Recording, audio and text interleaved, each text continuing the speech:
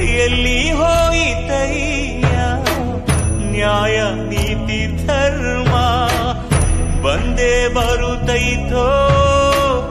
ಮತ್ತೆ ಶುಭ ದಿನ. ಮಾಗಿ ಕಡೆಗೆ ಮೂಡದೇನು ಚೈತ್ರ ಹೂವನ? ಕಾವೇರಿ ಸಿಮ್ಯಾಗ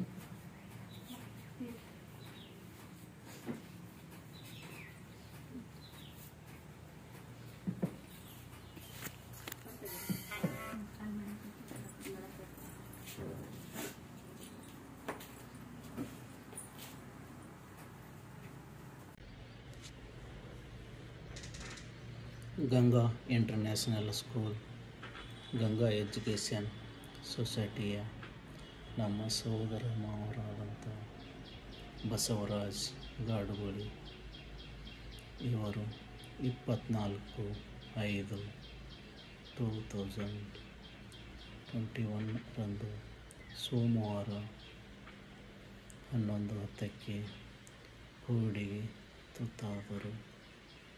ಇವರು ಉಳಿವಿಗಾಗಿ ನಮ್ಮ ಆತ್ಮೀಯರು ಹಾಗೂ ಹಿತೈಷಿಗಳು ಹಾಗೂ ಚಂದನೊಗ್ಲಿ ಸರ್ ಹಾಗೂ ಜಯಮೃತ್ಯುಂಜಯ ಸ್ವಾಮೀಜಿ ಕುಳಿಸಂಗಂ ಹಾಗೂ ನಮ್ಮ ಶಾಸಕರಾದಂಥ ಶಿವಾನಂದ್ ಪಾಟೀಲರು ಇವತ್ತು ಇವರ ಪ್ರಯತ್ನದಿಂದ ನಮಗೆ ಐ ಸಿ ಯು ಬೆಡ್ ಸಿಕ್ತು ಆ ದಿನ ಹೇಗಿತ್ತು ಅಂದರೆ ಕರಾಳ ದಿನವಾಗಿತ್ತು.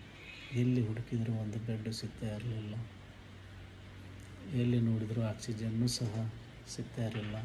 ಅಂಥದ್ರೊಳಗೆ ಇವರೆಲ್ಲರೂ ಸೇರಿ ಶಾಸಕರಾದವರು ಹಾಗೂ ಸ್ವಾಮೀಜಿಯವರು ಹಾಗೂ ನಮ್ಮ ಆತ್ಮೀಯರಾದ ಮುರಳಿ ಸರು ಇವರ ಪ್ರಯತ್ನದಿಂದ ನಮಗೆ I C U bed ventilator ಸಿಕ್ತು. ಏನೋ ಇದು ವೆಂಟಿಲೇಟರ್ ಬೆಡ್ ಸಿಕ್ತು ಅಂತೇಳಿ ನಮ್ಮ ಅವರು ಕೋವಿಡಿದಿಂದ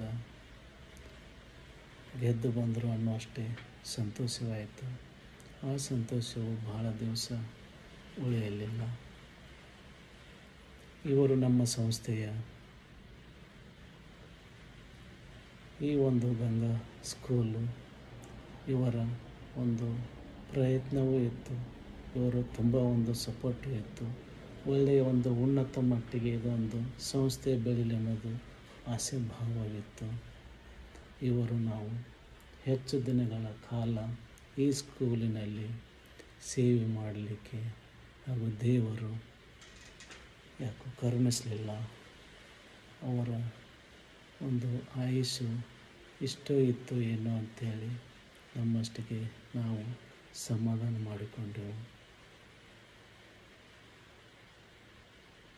ಮತ್ತು ಮಕ್ಕಳಲ್ಲಿ ಹೇಳುವುದೇನಪ್ಪ ಅಂದರೆ ಈ ಕೋವಿಡ್ ಬಗ್ಗೆ ಇರುವುದು, ಪಾಲಕರಲ್ಲಿ ಈ ಮೂರು ದಿವಸ, ನಾಲ್ಕು ದಿವಸ ಏನು ಜ್ವರ ಬರಲಿ, ಕೆಮ್ಮು ಬರಲಿ, ನೆಗಡಿ ಬರಲಿ, ಕೈ ಕಾಲಲ್ಲಿ ಆಸಕ್ತಿ ಅದರಲ್ಲಿ ಏನು ಅಷ್ಟೇ ಟು ಸ್ಮೆಲ್ ಕಡಿಮೆ ಆದರೆ ದಯವಿಟ್ಟು ತಮ್ಮಲ್ಲಿ ಇಷ್ಟೇ ಕೇಳ್ಕೊಳ್ಳೋದು, ಮೂರು ದಿವಸ ಅಥವಾ ನಾಲ್ಕು ದಿವಸ ಅಲ್ಲಿ ತಮ್ಮ ಲೋಕಲರು ಇರಬಹುದು ತಮ್ಮ ತಮ್ಮ ತಾಲೂಕು ಇರಬಹುದು ಮೂರು ದಿವಸ, ನಾಲ್ಕು ದಿವಸ ಅಷ್ಟೇ, ಅಷ್ಟರಲ್ಲೇ ತಾವು ಕಡಿಮೆ ಮಾಡಲಿಕ್ಕೆ ಪ್ರಯತ್ನ ಮಾಡ್ರಿ. ಒಂದು ಕಡಿಮೆ ಆಗಲಿಲ್ಲ ಅಂದರೆ ಅದಕ್ಕೆ ಹೆಚ್ಚು ಇಲ್ಲೇನ ತೋರಿಸುತ್ತಿದ್ದಾರೆ ಅಂದರೆ ಸಮಸ್ಯೆ ಆಗುತ್ತದೆ ಇದು ನನ್ನ ಅನುಭವದ ಮಾತು ಇದು.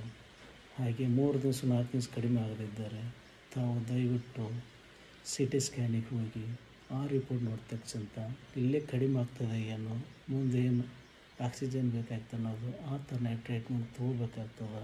ಇಲ್ಲೇ ನಾವು ವಾರಾಗಟ್ಟಲೆ ತೋರಿಸಿದಂದರೆ ಮುಂದೆ ಇನ್ಫೆಕ್ಷನ್ ಜಾಸ್ತಿಯಾಗಿ ನಾವು ಆಕ್ಸಿಜನ್ನಿಗೆ ವೆಂಟಿಲೇಟರ್ಗೆ ಹೋಗ್ಬೇಕಾದ ಅಲ್ಲೇ ಸನ್ನಿಸ್ ಮಾಡೋಕ್ಕಿಂತ ಮೊದಲು ನಾವು ಏನೇ ಬರಲಿ, ಸಣ್ಣ ಪುಟ್ಟ ಬರಲಿ, ನಾವು ಅದಕ್ಕೆ ಆಲಸ್ಯನ ಮಾಡದೆ ತಾವು ಎರಡರಲ್ಲಿ ಮೂರು ದಿನದಲ್ಲಿ ಕಡಿಮೆ ಮಾಡೋಕ್ಕೆ ಪ್ರಯತ್ನ ಮಾಡಿಕೊಡ್ರಿ ಅಂತ ಹೇಳಲಿಕ್ಕೆ ನಾನು ಇಷ್ಟಪಡ್ತೀನಿ. ನಾನು ಈ ಒಂದು ಆನ್ಲೈನ್ ಕ್ಲಾಸಿನಲ್ಲಿ ಈ ಒಂದನೇ ತಾರೀಕಿನಿಂದ ನಾವು ಸ್ಟಾರ್ಟ್ ಮಾಡ್ತೇವೆ ಜುಲೈನಲ್ಲಿ ನಾವು ಈ ಪರಿಸ್ಥಿತಿ ಹೇಗೆ ಬಂತು ಅಂದರೆ ಈಗ ನಾವು ಮೊಬೈಲ್ ಮುಟ್ಟಬಾರ್ದು ಅಂಥೇಳಿ ನಾವು ಎಲ್ಲರಿಗೆ ಮಕ್ಕಳಲ್ಲಿ ಪಾಲಕರಲ್ಲಿ ವಿನಂತಿಸ್ತಿದ್ದೆವು.